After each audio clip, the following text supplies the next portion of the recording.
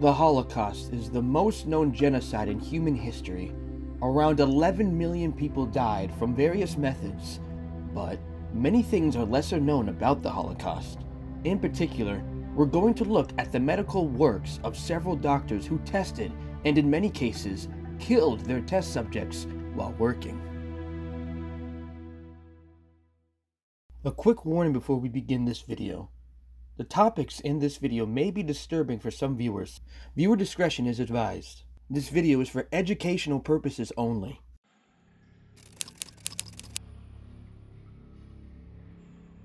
The first doctor we'll look at is the famous Josef Mengele.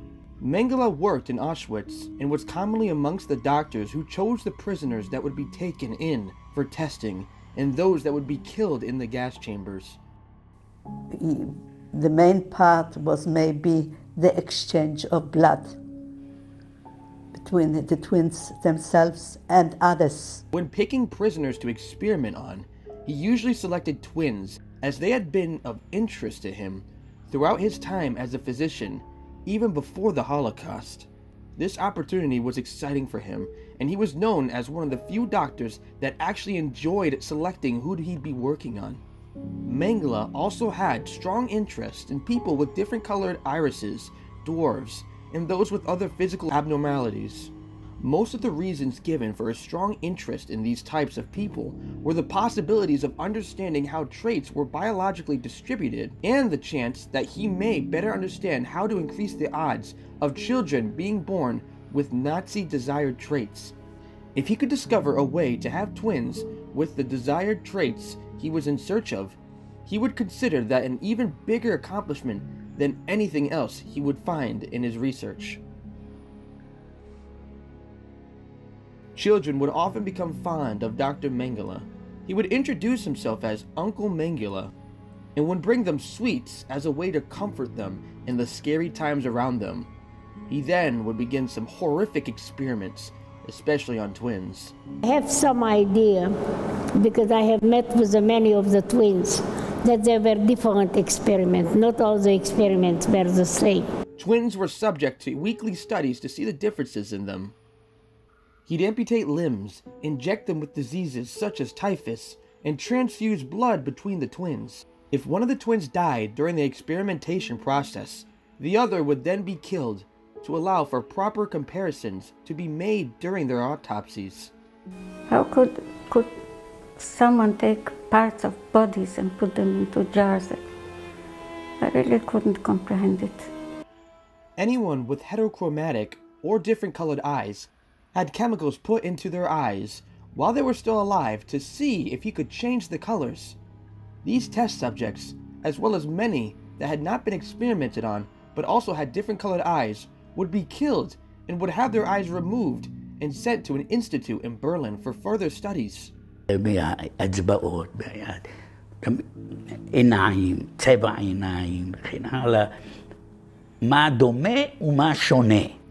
Dwarves fell victim to similar experiments as twins did, but, in addition, would have teeth extracted and would be tested on with medical drugs and x-rays.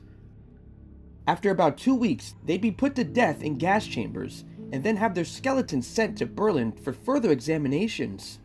Some survivors, whether they were lucky to be alive or not, told stories of some of the atrocious experiments Dr. Mengele did. This included things such as sewing skins together to try to create conjoined twins, and for one unlucky test subject, it involved having a kidney removed without anesthesia.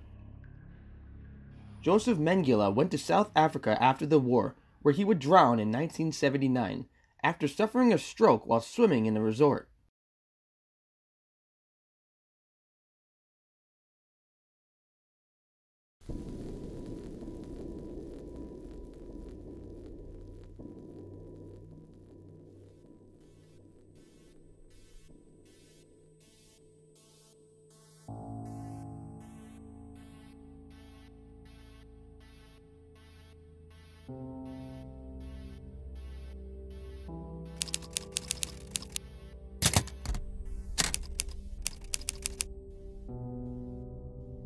Dr. Clauberg and Dr. Schumann worked closely with each other in Barrack number 30 in Auschwitz.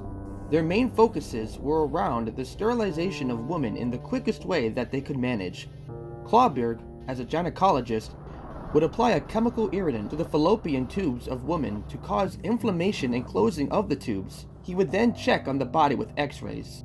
This procedure usually had issues that led to death of the woman being experimented on. Hemorrhages were frequent, as was peritonitis, which is an inflammation of the tissue that covers most of the organs in your abdomen. Fevers and sepsis were common among those tested on. If anyone survived the testing, they were commonly put to death just for the sake of performing autopsies later on.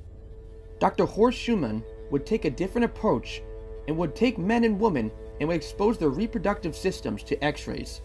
He would also surgically remove one or both of men's testicles or women's ovaries to get samples of their cells and tissue. In addition to this, men would also become victims of his semen checks. A stick with a rubber hose at the end would be put into their rectums, and they would be stimulated until they ejaculated. Schumann would send the semen to Breslau, along with the testicles and ovaries he removed.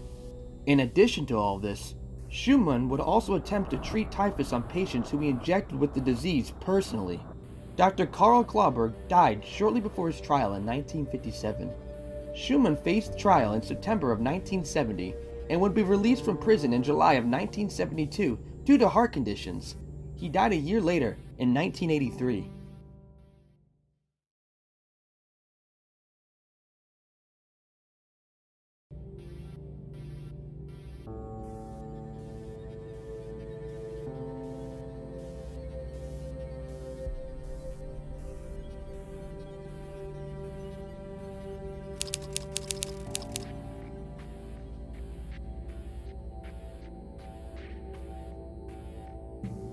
Starvation was normal in camps during the Holocaust.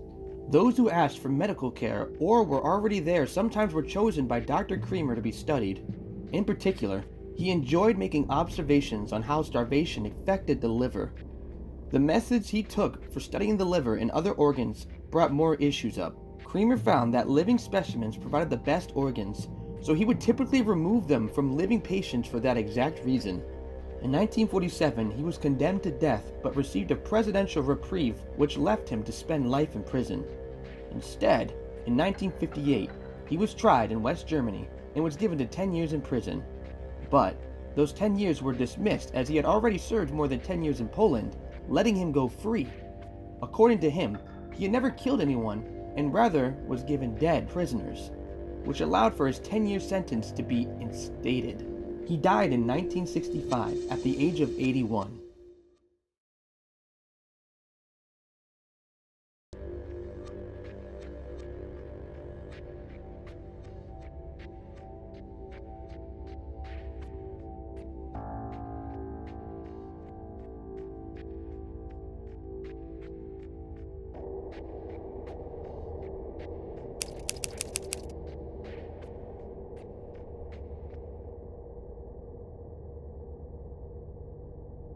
Emil Kaschub was a doctor sent to Auschwitz to study issues that were coming up from the German army. Many Eastern Front military men were self inflicting injuries to get out of the war, and the government wanted to crack down on it. Many times they would end up with abscesses, fevers, and infectious hepatitis. Dr. Kaschub would take healthy prisoners and would rub their skin with various toxins as well as inject them with different chemicals to try to recreate the symptoms of the German soldiers. In addition to this, he also made the prisoners swallow atabrine, which is used to prevent malaria, as well help improve people's immune systems.